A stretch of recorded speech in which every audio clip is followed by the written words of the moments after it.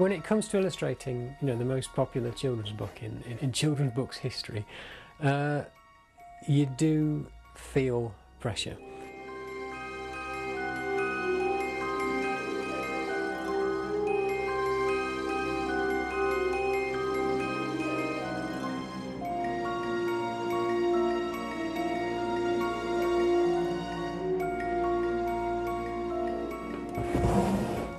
So this is uh, the final uh, design for Harry himself.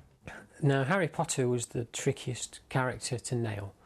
It was a case of going back to the story and thinking, who is Harry for me? And I actually saw a young boy in the London Underground and he was with his mum. So I thought I've got two stops to try and introduce myself to this uh, to this family and say, you know, your son is absolutely perfect for a project I'm working on. But I couldn't say what the project was, it was all under wraps. Now I left my details and I thought, well, that's it, I'll never hear from him again. And, and luckily, two weeks later, um, I got a lovely message from uh, the young boy's mum and said she'd be, you know, keen to help me in any way. This is a portrait of uh, Professor McGonagall. And in the book, there are several portraits just for me to sort of stamp my own idea of the characters in the book, really. McGonagall is actually based on my partner, although I must stress that um, I have aged her quite considerably. So this is uh, Hermione, based on my niece. Quite bossy, tells me off a lot, so she's very good for Hermione.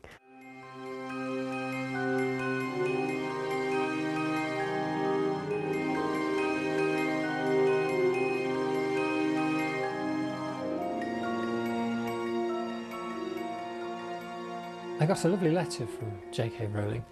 Uh, now, for me, because it's quite a pressure sort of situation working on this book, it suddenly hit me. I thought, "Gosh, this is this is really happening." Uh, and she sent this beautiful letter saying she really liked what she'd seen so far, and I think that meant more than than anything really.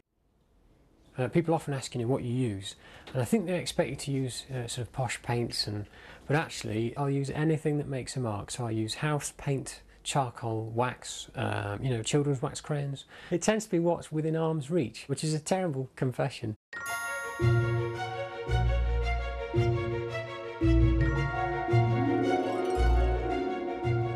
I lie awake, I think, every night worrying about how much there is to do. I'm a bit behind on book two at the moment. So you do, there are moments when you think, oh, it's not happening, it's not working. But and it just makes you appreciate the times when it does click. You know, it's a rare moment, but when it does, it makes it all worthwhile.